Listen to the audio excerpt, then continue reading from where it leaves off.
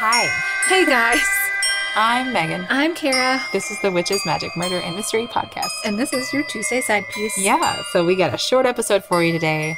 And it's Um, Megan's turn. I try to remind people when I post like the descriptions, like the Tuesday episodes, in case this is the first time you've ever Right, listened. or a little shorter. They're shorter. A lot of the times they're the stories that are sent in by you guys, Mm-hmm. or they're stories that are interesting, just not really long. So this one that I have for you today, Mm-hmm. I really love it. It's a witch episode. Okay. And I love the witch episodes course, because yes. we always get to talk Mhm. about really cool women. Yes. This one's a little different because she wasn't actually a witch, Mm-hmm. but you're still all going to love her. Okay. She's great. Okay? All right. Now, I've already been through this thing where she was Italian. Oh, the names, guys. the it's names. Veronica. I'm guessing it's Franco. Freshman. Freshman. Franco. I'm going to call her Veronica as often as I can. So, Veronica Franco was a well known courtesan in Venice during the Renaissance.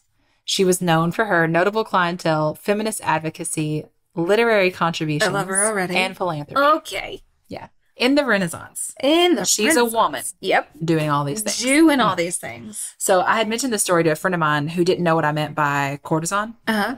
So, just in case anyone else has questions, a courtesan was basically a sex worker, uh-huh. but her clients were like royalty and nobility. Yes. If there's a hierarchy of sex workers, courtesans is- at the top. yeah. Yeah. Yeah. And she was at the top of those, even. So, they were different from traditional prostitutes because courtesans attracted. Am I saying that right? Court- courtesans. I, Courtesans. Courtesans. You know, it's.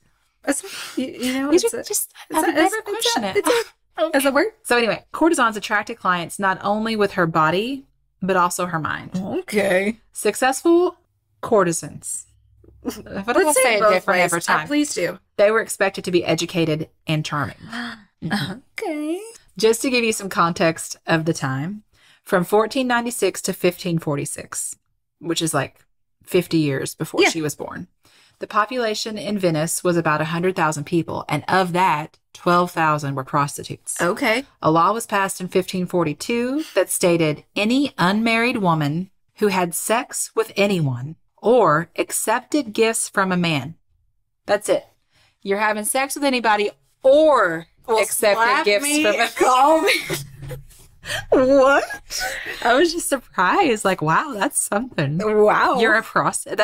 Well, I didn't finish, but if you did those two, either it's or, either or. Mm, um, you're considered a prostitute. Literally just accepted a cake from a friend the other day, Mhm. so I guess. Yeah. So if you're not married and you have sex, Oh, no, okay. or if you're not married and you accept a gift from a man, you're a prostitute. And that meant you would face extra restrictions.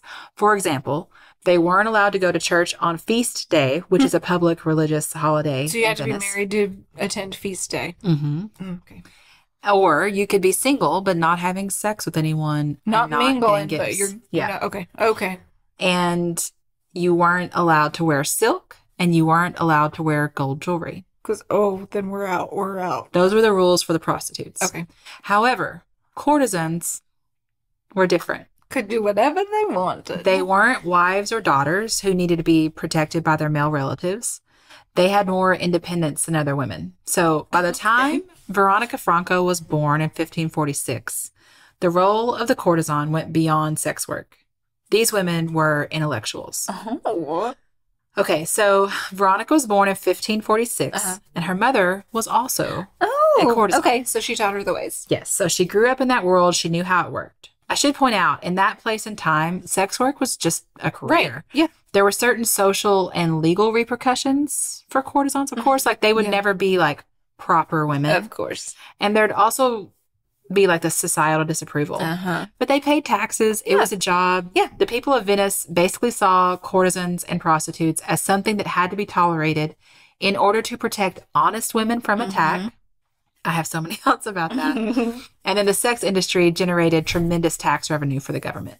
Okay. But like, apparently, it's like, well, men can't control themselves, so they can go have sex with these women without dishonoring any other women. And it keeps the honorable women safe, you see. It's okay. It's okay, Kara. No, listen. No, listen. You're not No, listening. it's good, it's good, You're it's not good. paying It's attention. fine, what I'm it's talking about are the sex workers. And we don't care. Yeah, no, right? no, no. They're It's- not honorable. Right. Right. Right. we we can just defla- Yeah. deflower. That's all it is. it Yeah. That's nothing. I mean, No, it's their job. it's Oh, just it's just really interesting. Okay. It's just really interesting. Mm.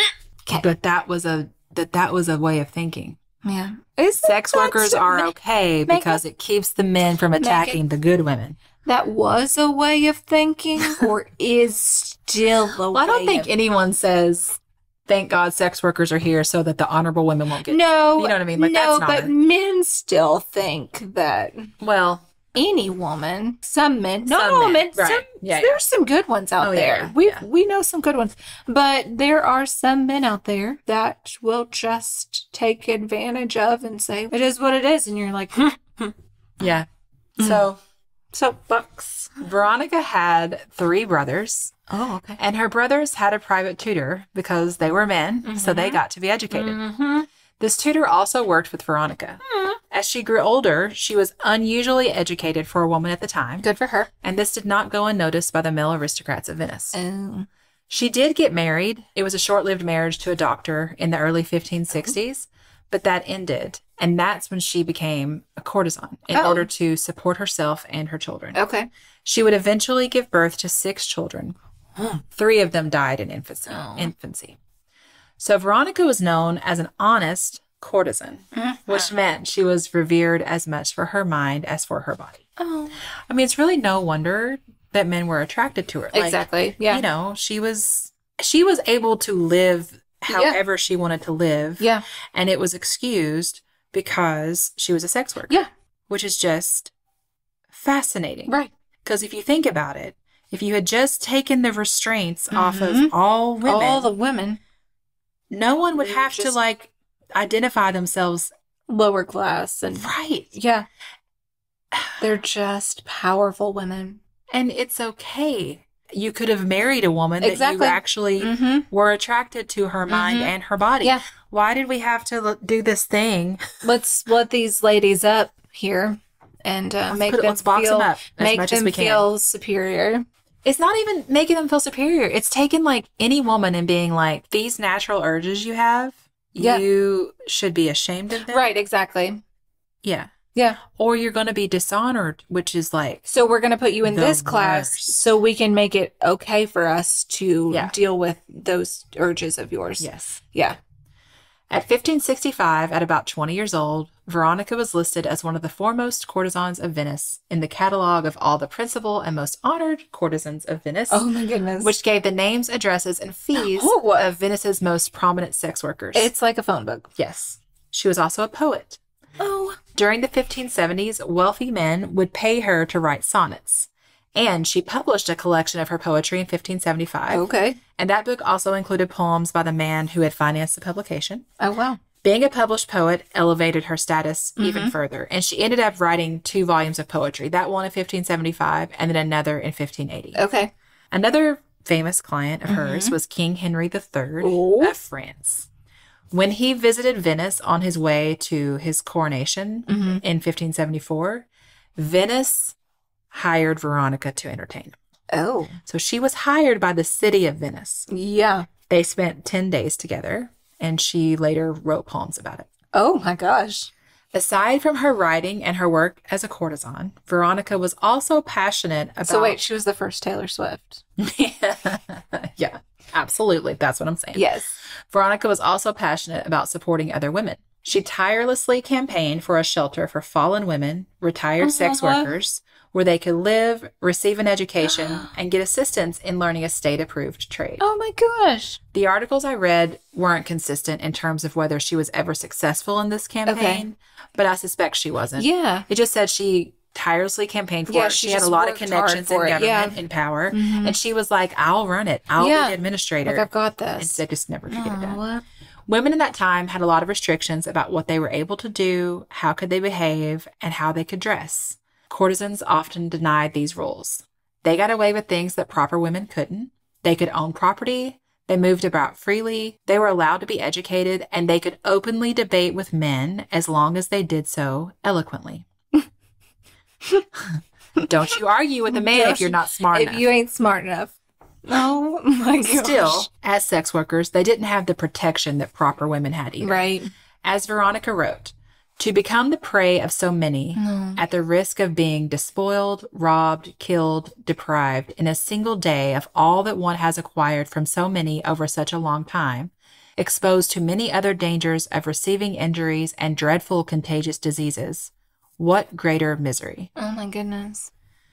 Veronica hired a tutor, Rodolfo Vannitelli, to work with her sons, and she wound up accusing him of stealing jewelry from her. Oh. She took her accusation to the Venetian government, and following this, an anonymous accusation was, lo- was lodged against her Oh, in 1580, saying that she practiced witchcraft. Are you kidding me? And even though it was an anonymous accusation, now we, we mm-hmm. know it was Vannitelli who submitted Yeah. the accusation. oh my god. So back then, when a woman was accused of witchcraft in Venice, she had to stand before the Venetian Holy Inquisition, a tribunal created by the Venetian government and the Catholic Church, and she had to defend herself. And they're like, oh wait, we just hired her to do this, but now we gotta. Oh my god. If she lost, she would be mm-hmm. executed. Oh my gosh. So Vannitelli said that Veronica practiced witchcraft and made pacts with the devil to cause men to fall in love with her. Okay. He also said, I thought this was some, so another complaint he had. A complaint. Okay. She enjoys too much support in this city and is favored by many who should hate her.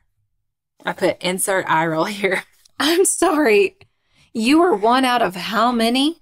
I just, Everybody adores her. yeah. People like her too much. You can't. You can't be doing none of She's that. getting too big for her britches. we gotta. We gotta knock her down a couple. I don't, it's just like, Oh, you're, you're mad at her because she's likable. Yeah, and you stole jewelry and you've gotten caught.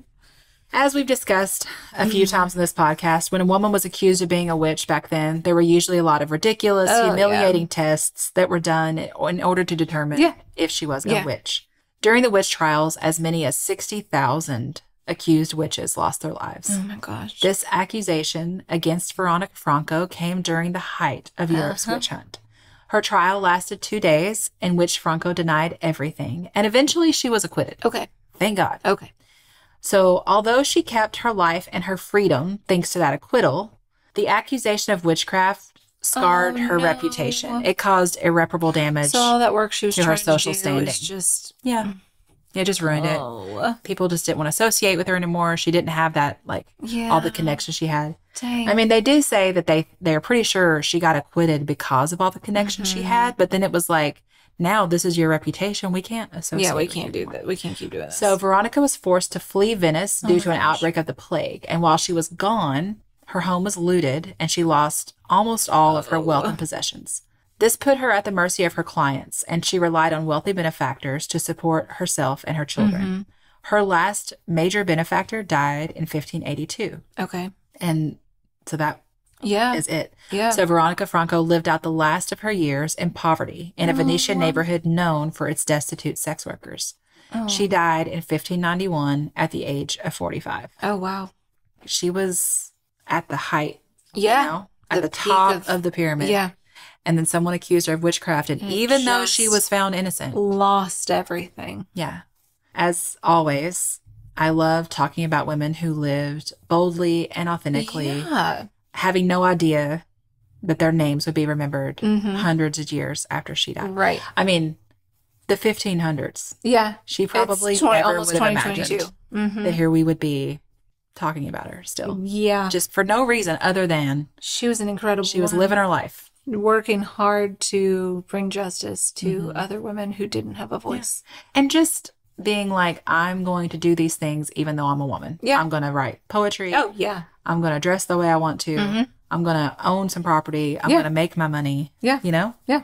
I'm gonna have my children tutored. I'm gonna. in the 1500s particularly like what a stand to Yeah. take so Hmm. that's my story That's an interesting story. i thought so too i just really liked learning Yeah. I'd never heard of her no, I hadn't either. so that's it That's it, guys. That's your little side piece. yeah i hope you all are having a lovely week Lovely day. we will be back in a few days with another With a full episode. If you'd like to get in touch with us, you can find all the ways to do that in the show notes. Yep. We love you. So much. Goodbye. Goodbye.